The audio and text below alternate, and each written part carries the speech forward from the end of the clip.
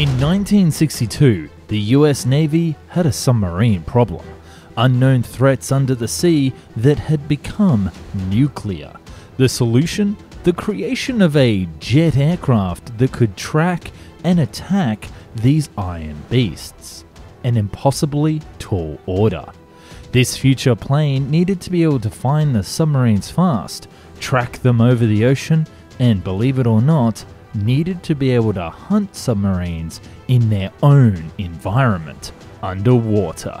Hold your breath because we're about to dive deep to explore the never built Convair submerging seaplane.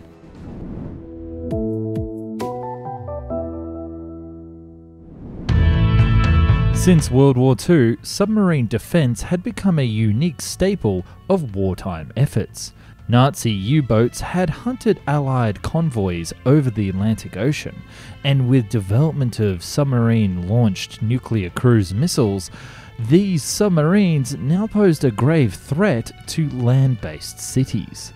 While submarine hunting boats had been effective, the age of jet engines provided additional opportunities that had yet to be explored.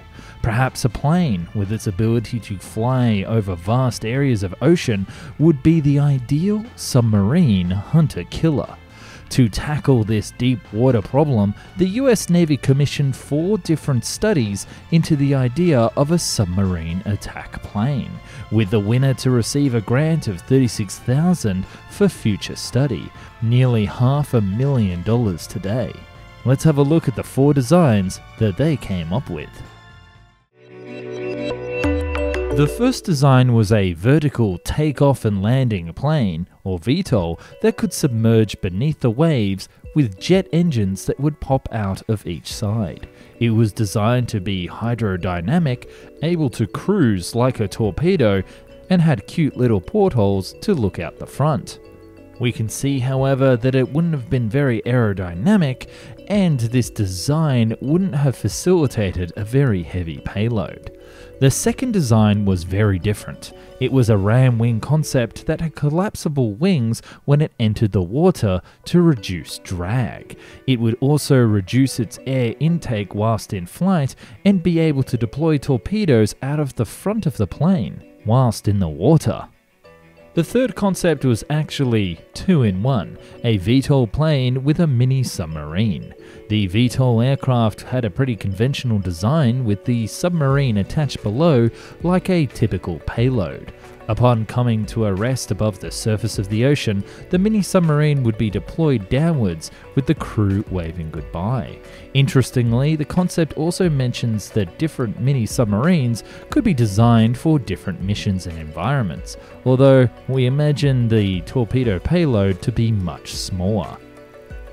But it's this fourth design that is the most interesting and would be the only one to make it past the initial concept stage. The fourth design's true name was the Convair and General Electric High Density Seaplane. High density because it would be able to go under the water itself.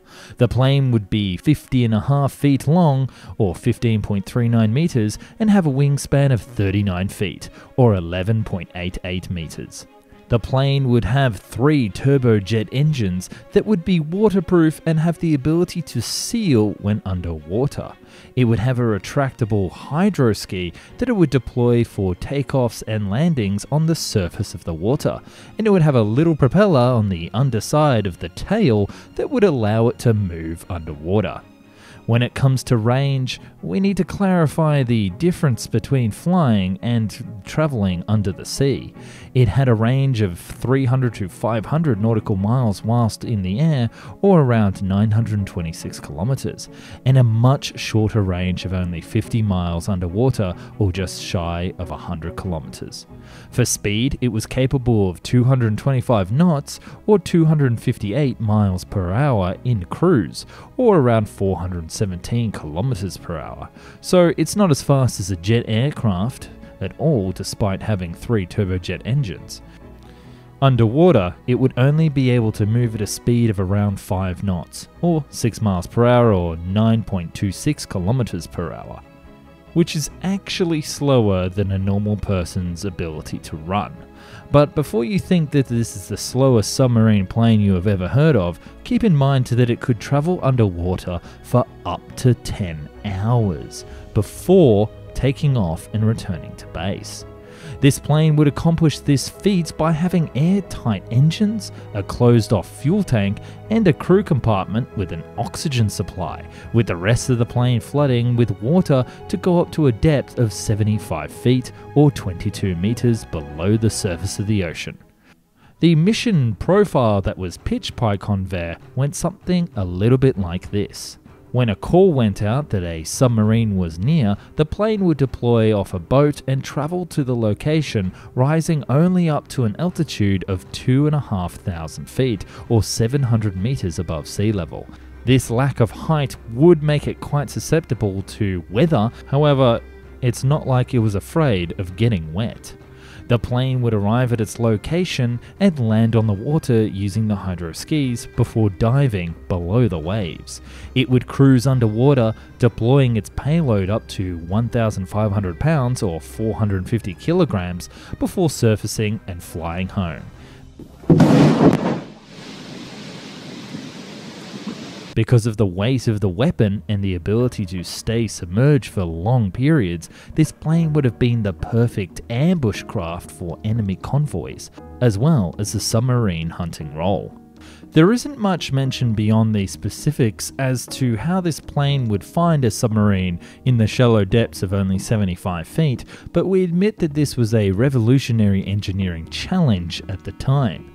Convair would show the design publicly in 1975 and it was worked on for around about another six months in partnership with the Institute of Aeronautics and Astronautics and the US Navy Bureau of Weapons. However, the project seems to have sunk here and not proceeded any further than some water tests. It's hard to say the exact reason why this project never really went ahead, but seemingly this plane design was a jack of all trades, but master of none. The plane wasn't a very good plane with poor range and terrible speed. It was also a terrible boat and submarine, unable to dive deep nor go very fast. Perhaps if the engineers had been given more time and funding, they would have been able to work out all the kinks. We don't know for sure. But I admit, the idea of a plane that can sink like a James Bond car and then take off like nothing happened is an incredibly fascinating idea. An idea that unfortunately was just not possible for the powers in charge back in the 1960s. Although you can totally imagine the look of the Russians' faces if they believed that this project was truly going ahead. But this wouldn't actually be the last time that Convair would consider a submersible aircraft design. They would additionally come up with a new design called the Convair Submersible Nuclear Ramjet. But that's a design that truly deserves its own video and will have to be the part 2 of this incredible flying submarine journey. So don't forget to subscribe to tune in and find out next time. This video would have not been possible without help from Aerospace Projects Review. This website has some fascinating never built projects, and I highly recommend that you peruse the decades of research that are available on hand. In addition, I would love to thank my Patreons for supporting the channel so far and coming together yet again to help me produce this video. This video was certainly a challenge to make as material on this concept is very rare indeed, but it seems like the very first time that a submarine plane was properly considered outside of a science fiction novel. So thank you again so much for watching.